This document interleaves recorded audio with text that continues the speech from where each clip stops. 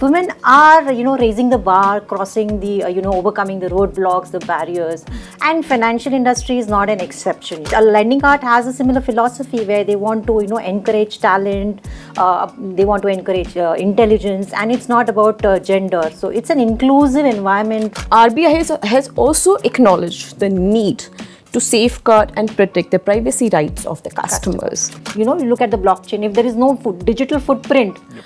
How will the blockchain work? How will the AI run if you don't have the data? So I think the key for any industry today is to anonymize the data. Both of us, which, who are considered as the roadblockers, that we are making the lives of easier for the people, right, within the organization. This can't, can't be done. Why? Because the legal head compliance have said no. Up to the time, AI is not taking the place of the regulators and the judges. we are going to be indispensable.